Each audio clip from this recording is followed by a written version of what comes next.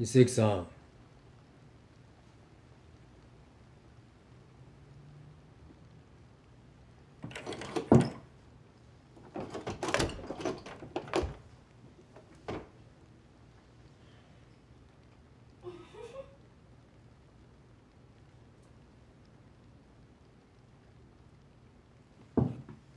伊勢木さん。ドア壊すつもりか？伊関さんですよね。要件わかると思うんです。わかんねえな。出てってくれってことなんですけど。あんた何よ？家主の代理です。代理って何よ？いやこっちも頼まれてきたわけで。あのちょっと中入れてもらえます？困るな。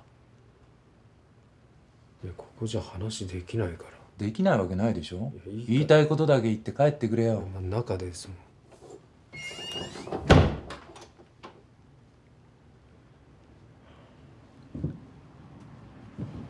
まああんたここに住む権利はない。出てってくれってそういうことなんですよ。伊関さん。吹けよ。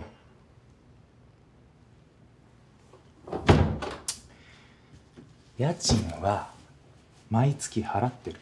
いや払われても困るわけ。契約はとっくに切れてるんだから。あんたお名前は？こんな電気もつかないボロアパートに居座ってもバカバカしいだけでしょ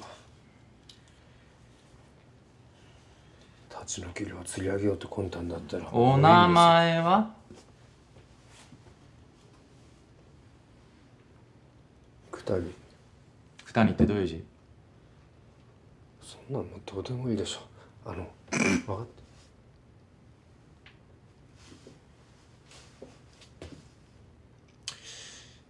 九谷さん。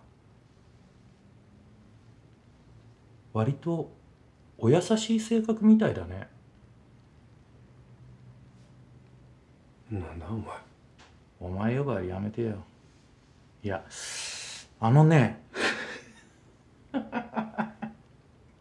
いや。いきなり手が出るとかもっとヤバい方の人が来るかなって思ってたんだけど意外と紳士的なんで驚いたわけ。なめんなよお前この野郎。なめんな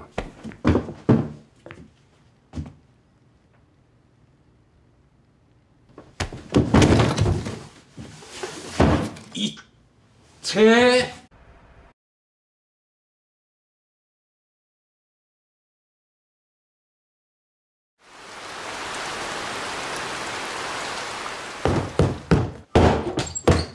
ドア壊すつもりか？いい女だったんだよ。初めて付き合った女。女優目指してたんだ。セックスすると人間から動物になっちゃうの？動物になってみたい。それ本当に処女だったのか。あいつ酒が強かったな。いや俺はもうその女とか嫌いだから。女嫌いがピンク取れるんですか？なんだよもうよくモテんな。ええか連れてって。いいええよ一緒に帰るよ。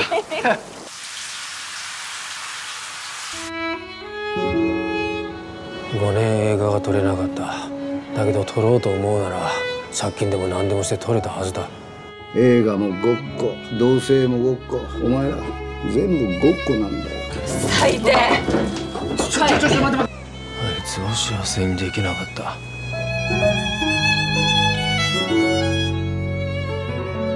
春されば卯の花くたし我が声し。どうしてんのかな？名前は？翔子桐岡翔